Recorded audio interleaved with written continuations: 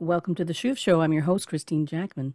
Tonight's feature is episode one of the three part series Fascinating First Fruits, the Feasts, and a Surprising Revival. Episode one is foundational to our discussion and is entitled First Things First. This episode contains probably some of the most important things I can share with you, apart from salvation through the work of Messiah Yeshua. So please don't skip episode one. Okay, let's get right to it. First things first. Let's start with Psalm 32, an awesome maskil of David that really covers the bases. Okay, Tehillim, Psalms 32, of David, a maskil. How blessed is he whose transgression is forgiven, whose sin is covered. How blessed is the man to whom the Lord does not impute iniquity, and in whose spirit there is no deceit. When I kept silent about my sin, my body wasted away through my groaning all day long. For day and night your hand was heavy upon me. My vitality drained away, as with the fever heat of summer. Selah. I acknowledged my sin to you, and my iniquity I did not hide. I said, I will confess my transgressions to Hashem, and you forgave the guilt of my sin. Selah. Therefore, let everyone who is godly pray to you in a time when you may be found. Surely, in a flood of great waters, they will not reach him. You are my hiding place. You preserve me from trouble. You surround me with songs of deliverance. Selah. I will instruct you and teach you in the way which you should go. I will counsel you with my eye upon you. Do not be as the horse or as the mule, which have no understanding, whose trappings include bit and bridle to hold them in check, otherwise they will not come near you. Many are the sorrows of the wicked, but he who trusts in Hashem, loving kindness shall surround him. Be glad in Hashem, and rejoice, you righteous ones, and shout for joy, all you who are upright in heart. Turn your heart and your mind to the Lord, Hashem. He not only is our King, Kohen Gadol, High Priest, and Savior, he is also our teacher. We can trust his promise from Psalm 32 8, where he says, I will instruct you and teach you in the way which you shall go. I will counsel you with my eye upon you. With that in mind, before delving into the topic of the appointed times called first fruits, I would like to cover three essentials in this first episode. Number one, steps to correctly study the scriptures. Number two, steps to determine the truth of a thing. And three, the biblical definition of the term first fruits and a short word about the biblical calendars. Okay, let's get into the three essentials. With these three essentials, Number one, six indispensable steps to correctly study the scriptures. They are proper premise, context, culture, literature or poetry, original languages, and the Ruach HaKodesh as teacher. Okay, let's start with the first one proper premise. When studying the Bible, starting with a correct premise or assumption is critical. It is impossible to arrive at correct interpretations if your starting premise is faulty. Let me say that again. If your mindset assumptions are in error, it is impossible to come to accurate analysis. Wrong premises remain one of the biggest reasons why there are over 45,000 different denominations in Christianity. So, what is the definition of a false premise? A false premise is an incorrect proposition or assumption that forms the basis of an argument and renders it logically unsound. For example, the argument, quote, all birds can fly and penguins can't fly, so penguins aren't birds, end quote. The premise that all birds can fly is actually false, since the truth is some birds can't fly. This renders the argument logically unsound. The conclusions that the conclusion that penguins aren't birds is wrong. Likewise, listen to this common argument. This is an actual quote that I found. Quote, the Ten Commandments and the rest of the Mosaic Law were nailed to the cross with Christ. Jesus did not eliminate the law, but perfectly fulfilled it. That is, i.e., the contract was completed and didn't carry over into the Christian age. End quote. Can you spot the false premise? Actually, there are more than one. This statement is wrong on many levels the first statement, quote, the Ten Commandments and the rest of the Mosaic Law were nailed to the cross with Christ, end quote. That is a false premise. The correct premise, according to Scripture, is it was the curse of the law that was nailed to the cross, our debt penalty for breaking the Mosaic law, the terms of the ancient covenant. Galatians 3:13 says, Messiah redeemed us from the curse of the law, having become a curse for us. For it is written, Cursed is everyone who hangs on a tree. Remember the brazen serpent hung up on the pole of the wilderness? Well, this was a prophetic picture of this. The curse, the consequence for sin, was hung up. They looked up, acknowledged their sin, and were healed, forgiven. Quote, the law was nailed to the cross, end quote, is an erroneous premise. It's not the law that's deficient. We are. The next line, quote, Jesus didn't eliminate the law but perfectly fulfilled it, i.e., that is, the contract was completed, end quote. In part, that is a false premise. The correct premise, according to the scripture, their statement that Jesus, Yeshua, perfectly fulfilled the law is correct, but not in the way they think. Their premise that, quote, the contract was completed, end quote, and thereby no longer in effect, is false because the truth is, biblical Near Eastern blood covenant does not have an expiration date. You cannot delete a blood covenant. The contract is ongoing, leolam, forever, blood covenant. According to our Creator, blood covenant is a forever thing. Go search the scriptures and see how many times he says forever in regards to a covenantal statement. Do your due diligence. Don't just be spoon fed. So, their conclusion that the Mosaic Law did not have to carry over into the Christian age is logically unsound. Their conclusion is based on a false premise. When Messiah Yeshua returns, you can be assured that the law of the land will be the written Torah. Jew and Gentile, one in Messiah. And that means written Torah as he understands it. And his premises are always right and proper. The foundation of Torah is the law of Moses. Who do you think gave the terms of the blood covenant at, at Mount Sinai? Who did they see? Torah reveals the heart of God. It always existed. God Himself says He doesn't change. The 613 plus commandments in the foundational scriptures reveal the heart of God and are the lifestyle of the redeemed community. So when you study the scripture, it is essential that you start with that proper premise. Scripture is founded on blood covenants, and they are forever covenants. Messiah Yeshua did not do away with, quote, the law. That's not how Near Eastern biblical covenant functions. With this truth in mind, the dots will begin to connect for you when you read the Bible.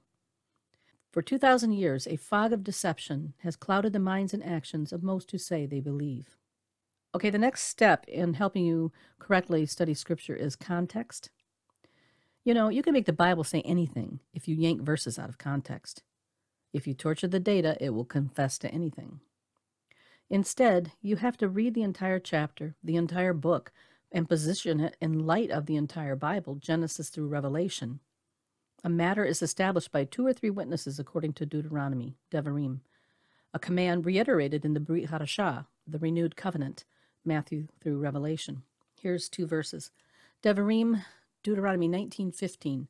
Quote, "A single witness shall not rise up against a man on account of any iniquity or any sin which he has committed. On the evidence of two or three witnesses a matter shall be confirmed." End quote. And then reiterated in Matthew 18:16, quote, "But if he does not listen to you, take one or two more with you, so that by the mouth of two or three witnesses every fact may be confirmed." Another word about context. Just because you read about a person doing a certain, certain thing in the Bible doesn't necessarily mean that the conduct is okay by the Lord. The Bible presumes that you know the foundational written Torah. That action must be stacked up against the measuring stick of the terms of the covenant. Here's an example. You see Jacob taking more than one wife. So is that behavior a good practice to copy? Well, what did Messiah Yeshua say? Look at Matthew 19. The context here is the question of divorce. But Yeshua points out that the two are one flesh. Male and female, by the way. I'm just saying. Matthew, Yahoo 19, verses 3 through 6. Quote, Some Pharisees came to test him. They asked, Is it lawful for a man to divorce his wife for any and every reason? Haven't you read, Yeshua replies, that at the beginning the Creator made them male and female, and said, For this reason a man will leave his father and mother and be united to his wife, and the two shall become one flesh. So they are no longer two, but one flesh. Therefore, what God has joined together, let no one separate. This same account is reiterated in Mark 10. So, in the beginning, God made Adam and Eve, not Adam, Eve, and Stella. Remember, Adam named his wife Eve, or in Hebrew, Chava. Scripture reports in Bereshit, Genesis 3:20, the man named his wife Eve, Chava, because she was the mother of all the living. One man, one woman. That was God's original word on this issue. So when you read a historical account in Scripture, you must first discover what is the first command, what is the original word God spoke regarding that issue. That is absolutely key to arriving at a proper decision or, or conclusion. The action must be held up to the measuring stick of the foundational Torah and its terms of the blood covenant. The whole counsel of the Word of God must be consulted. Okay, the next step in helping you study the scripture correctly is culture. Think, what was the culture like when this was written? You run into trouble if you try to interpret scripture from a modern Western thinking Greco Roman mindset. Go study the difference between a biblical Hebrew Near Eastern mindset and a Western Greco Roman mindset. For example, in scripture, things are not necessarily either or, which is a, a Western proclivity but they can be a Hebraic yes and no and both. Remember, Matthew through Revelation was written by believing Hebrews. Although well acquainted with the Roman occupiers, they still thought like Jews and were inspired to write by the Ruach HaKodesh, the Spirit of holiness. Okay, here's an example of how easy it is to misread the actions of a differing culture. There is a video taken during a meeting at Camp David which shows Israeli Ehud Barak attempting to herd Palestinian Yasser Arafat into the door ahead of him. Now, to Western eyes, this might be interpreted as politeness, letting the other go first. Ah, but your presumption would be wrong. We see Arafat is struggling to go last. Why? In the Middle East, the most powerful person enters last. That's why Arafat was so reluctant and not pleased when Ehud walked in last. It was sending a message to the world. So in Scripture, check the culture. What does it mean to them? Okay, next thing in studying Scripture is it literal or is it poetry? Learn to spot the difference between when the Bible is speaking literally, uh, an historical account, or when you're looking at Hebrew poetry. Genesis 1, etc., is an example of an historical account according to learned Hebrew scholars. The patterns which distinguish Hebrew poetry are found at several levels. Sound, meter, word, and imagery. What are the characteristics of ancient Hebrew poetry? Parallelism. Look at Psalm 6 9. Hashem has heard my supplication. Hashem receives my prayer. Then there's quantitative rhythm. Then there's accentual rhythm, having rhythm based on stress rather than on the number of syllables or length of sounds, as in some poetry. Then there's the dirges, like Amos 5 1. Hear this word which I take up for you as a dirge, O house of Israel. Then there's also anadiplosis. Anadiplosis can involve a single repeated word or the repetition of a group of, group of words. For example, Psalm 121 1 and 2. I lift up my eyes unto the hills. Where does my help come from? My help comes from Hashem who made heaven and earth. End quote. Then you have acrostics a poem in which the initial letters of each successive line form a word, phrase, or pattern.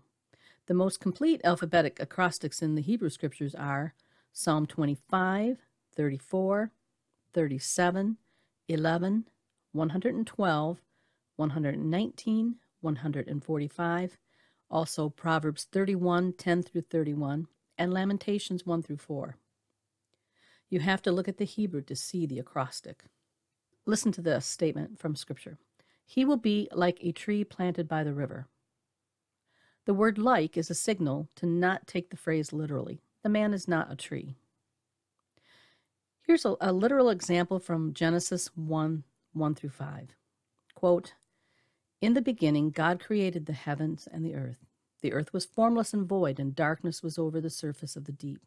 And the Spirit of God was moving over the surface of the waters. Then God said, Yehior, let there be light. And there was light. God saw that the light was good, and God separated the light from the darkness. God called the light day, and the darkness he called night.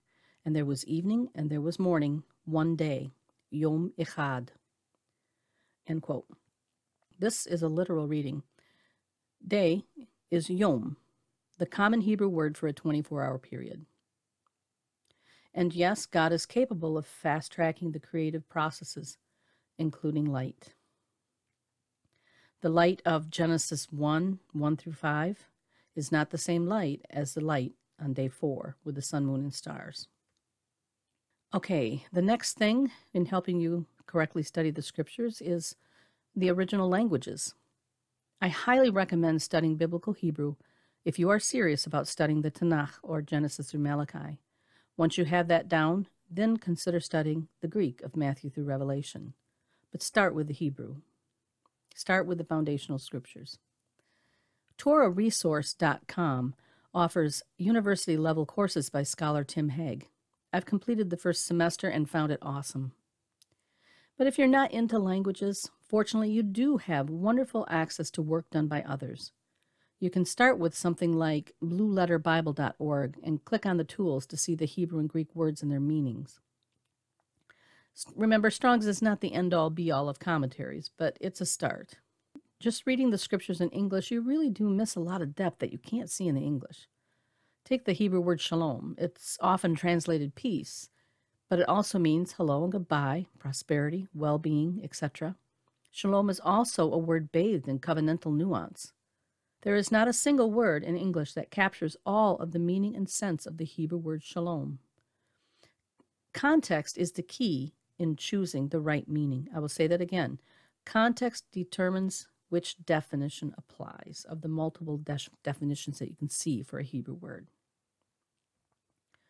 Lastly, let's discuss the Ruach HaKodesh as teacher, the Holy Spirit, or literally, Spirit of Holiness. Can you understand the Bible by yourself? Some say, it's too difficult. I can't understand. I can't do the commandments. I'm not a studier. These are excuses. Can one understand the Bible? Well, the answer is a Hebraic one yes and no, and both.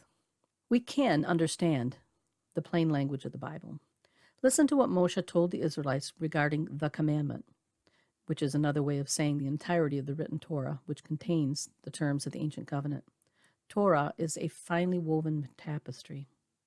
Moshe told them, and consequently us, this is what he said in Devarim, Deuteronomy 30, 9 through 14. Hashem your God will prosper you abundantly, and we drop down, if you obey Hashem your God to keep his commandments and his statutes which are written in this book of the law, the Torah. If you turn to Hashem your God with all your heart and soul, for this commandment which I command you today is not too difficult for you, nor is it out of reach. It is not in heaven that you should say, Who will go up to heaven for us and get it, and that we can hear it and observe it? Nor is it beyond the sea that we should say, Who will cross the sea for us and get it for us and make us hear it that we may observe it? But the word is very near you, in your mouth and your heart, that you may observe it. End quote. So, yes, we are expected to obey the commandments. And yes, in this passage, there is also an allusion to Messiah Yeshua. You'll, you'll see a midrash on that in the Brit Hadashah. This is a yes and yes. And we are not left on our own. God helps us in understanding and knowing how to walk out his will and his ways. Listen to these verses. Look at Job 36:22. Behold, God is exalted in his power. Who is a teacher like him? Then Tehillim, Psalms 119, verse 73, Yud. That's an acrostic, by the way, Yud. That's a Hebrew letter. Yud. Your hands have made me and fashioned me. Give me understanding that I may learn your commandments. Now here's one that has prophecy in it from Yeshayahu, Isaiah 30, verse 20. Quote, Although the Lord has given you the bread of privation and the water of oppression, he, your teacher, will no longer hide himself, but your eyes will behold your teacher. And the reality, Messiah Yeshua. We see this in Yochanan, John 13 13. Yeshua says, You call me teacher and Lord, and you are right, for I am. Then we look at the Ruach HaKodesh as our guide and comforter in Luke 11 13. If you then, being evil, know how to give good gifts to your children, how much more will your heavenly Father give the Holy Spirit, the Ruach HaKodesh, to those who ask him? End quote. Then also Yochanan, John 14, 15 through 18, Yeshua is speaking, and he says, If you love me, you will keep my commandments. I will ask the Father, and he will give you another helper, that he may be with you forever, that is, the Spirit of truth whom the world cannot receive because it does not see him or know him. But you know him, because he abides with you and will be in you. I will not leave you as, as orphans, I will come to you. And then verse 21 He who has my commandments and keeps them is the one who loves me. And he who loves me will be loved by my Father, and I will love him and will disclose myself to him. The Greek word for disclose there, emphanizo, is interesting. It means to manifest, to appear, to declare plainly. It is the heart of the Holy One that we should know and understand and do the things we can. If you are truly seeking truth, God's truth, not the world's, and not what you want to believe, but the truth, rest assured He will help you understand. He will also provide good teachers after His own heart so that you don't have to be a lone ranger. But don't just blindly follow what humans say. Always test it against the whole counsel of the Word of God, the terms of the covenant, and what Messiah Yeshua modeled for us. Drop down to verse 23 and 24. If anyone loves me, he will keep my word, and my Father will love him, and we will come to him and make our abode with him. He who does not love me does not keep my words. And the words which you hear are not mine, but the Father who sent me. Messiah Yeshua did not come to set up a new religion, but rather to restore proper interpretation of the written Torah and to show that he is indeed the one of whom the scriptures prophesied. He is the prophet Moshe said would come. He is the Lamb Abraham prophesied about that day on Mount Moriah. He is the innocent son of David who would die for the sins of others, which we see foreshadowed in the death of the innocent baby of Bathsheba and David. He took our curses upon himself. See the bronze snake on the pole in the wilderness. The snake represents our sin and the resulting curse due, justly so. Look at your sin up there. Acknowledge it, that you have sinned against God. Repent, stop doing that thing, and you will be healed. See the innocent Lamb of God on the execution stake, the Roman cross, beaten beyond recognition, bruised, bleeding, in pain, thirst, nakedness, taking the punishment that we deserved. He hung there and died because of love, because of mercy. As the Goel, he balanced the blood with his own, that we might live and be able to come back inside the circle of the ancient covenant. Yeshua of Nazareth, Nazareth, came to provide the way, the only way, back into the ancient blood covenant as our divine kinsman redeemer. Ultimate God, ultimate sin, and ultimate sin requires an ultimate Savior. Now he stands in the heavenly temple, daily interceding for us as our Kohen Gadol, high priest, on the order of Melchizedek. In these very dark times, morally, we must stand fast in the faith. And we can't do it on our own. After all, anything good we have comes from Him, right? Our faith, our works, our trust, our salvation, they are all gifts from God. No one can boast. We must boast in Him. Stand firm, relying on Him. He loves us more than we can know. Now let's talk about six steps to determine the truth of a thing. This is a critical thing to learn in order to have discernment. How do you correctly determine the truth of a thing? Well, here are six steps to assist you in getting to the heart of the matter. When confronted about an issue, ask yourself these things. Number one, what is the original word or the original commandment given by God on this issue? Two, what do the terms of the covenant say, the commandments? What did Messiah Yeshua say and do? What is the context, chapter, book, the whole of scriptures? What is the culture of that day? And then, number six, appeal to the Lord to keep you in his truth. It is imperative in this era of moral darkness to be very careful of whom you let be your teacher. Today, there is a burgeoning plethora of false teachers. Test every issue. Test every issue. Did I mention test every issue? Test what I say. Test what you say. Charismatic preachers and speakers can make a thing seem plausible even when it's not. Remember, it takes only a little rat poison to poison the glass of truthful water. The sneakiest tactic is to hide the lie amongst all the facts. Don't be lazy, check it out. How? Again, what is the original word or commandment given by God? What do the terms of the covenant say, the commandments? What did Messiah Yeshua say and do? What is the context? chapter, book, the whole of scriptures. What is the culture of that day? And appeal to the Lord to keep you in his truth. May your prayer be, Lord, please don't let me ever believe a lie. Because when you are deceived, you are deceived. You can't see clearly. Let the Lord of light bring you into all his truth. We need to cling to him, not our favorite teacher or YouTube documentary. We need to cling to our Creator. Remember, our adversary works towards our destruction. Don't give him the time of day. Let's walk through an issue example, okay? That there are those who claim that the Sabbath can be on any day of the week. I've heard people say something like, well, I can just pick any day of the week to have a day of rest. Wrong. What is the correct answer? Well, what is the original word or commandment by God?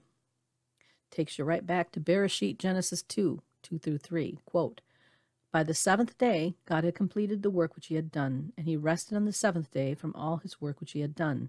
Then God blessed the seventh day and sanctified it, set it apart, because in it he rested from all his work in which God had created and made. End quote. All right. So God says, the original commandment says it's on the seventh day, a specific day of the week from creation. All right. Well, what do the terms of the covenant say? What do the commandments say in Torah? Then we go to Shemot Exodus 20, 8 through 11. Quote, Remember the Sabbath day to keep it holy, set apart. Six days you will labor, do all your work, but the seventh day is a Sabbath of Hashem your God. In it you shall not do any work, you, nor your son, nor your daughter, your male or female servants, your cattle, or the sojourner who stays with you for in six days Hashem made the heavens and the earth, the sea and all that's in them, and rested on the seventh day. Therefore Hashem blessed the Sabbath day and made it holy. Okay, the next step in confronting an issue, what did Messiah Yeshua do? Look at Luke 4, 4.16. Quote, And he, Yeshua, came to Nazareth, where he had been brought up, and as was his custom, he entered the synagogue on the Shabbat and stood up to read. End quote. So the claim of, I can just pick any day of the week to have a, a day of rest, is a conclusion based on a false premise. Go study Scripture, and you'll see God never countermanded his original commandment to keep the seventh day of the week from creation as holy, set apart, kadosh. If you put into practice checking what people claim, using these steps, and appealing to God for His truth, you won't get fooled as easily. You will have discernment and not fall into conspiracy theories and lies. Okay, let's move on now to um, the biblical definition of the Hebrew word for first fruits and a brief little talk on the biblical calendars. This episode one is really a foundations review before we move on. So let's take a look at the biblical definition of the term first fruits. In Hebrew, it's bikur, or plural bikurim. It's used 18 times in Scripture, and the meaning is first fruits from grains and fruits, early ripened things. Bikurim, Bikur, Bikurim. Now let's look at the calendars. Okay, there are actually two calendars in Scripture. The first one starts on Nisan 1 in the spring, and that one is used to determine the festival dates. The second one begins in the fall on Tishri 1, and it heralds the start of the agricultural calendar. It's called Rosh Chodesh, or Head of the Year. Tishrei 1 is also the Moed, appointed time, Yom Teruah, Day of Shouts or Day of Trumpets. And note that this is the only feast of the Lord to fall on a new moon. Hmm, could be some significance there, huh? Now, this arguing over the calendars is an attack from the adversary. Unfortunately, the enemy loves to divide us and keep us bickering at each other. People come up with different ideas of when the festival year on Nisan 1 begins, a barley issue. Here's the thing the feasts of the Lord were entrusted to the Jewish nation to guard. They are not going to forget when the seventh day Sabbath is, no matter where they are in the diaspora. They also would not forget how to do the Moedim, the appointed times, or when they were supposed to be, because they too contain holy Shabbats. So, what's the truth of the calendar issue? Well, what do we do? We, we ask ourselves, what did Messiah Yeshua do? Go read Matthew through John. You will find our Messiah with the Jewish people going up to Jerusalem for the feast. Now, if they had the calendar wrong, do you think for one second that the man who overturned the money changer tables and drove the animals out of the temple, do you really think that he would not have hesitated to correct them on their festival calendar if it were wrong? Also, ask yourself what did Messiah Yeshua say? Not one word about correcting the calendar. And he was all about restoring proper interpretation and application of the Torah. Not one word on correcting the calendar. We are to imitate Messiah, not some human.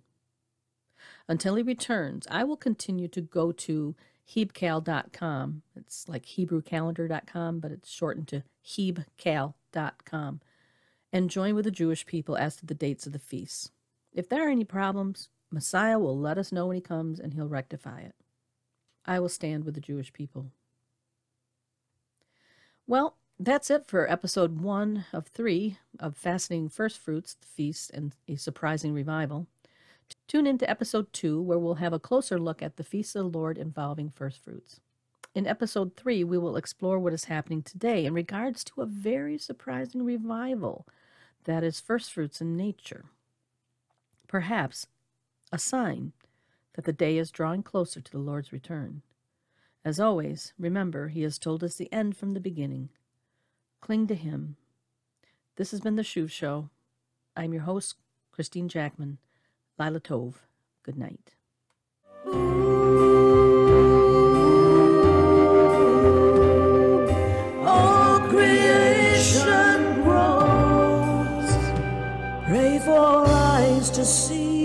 Stone hearts. Pray for eyes to see.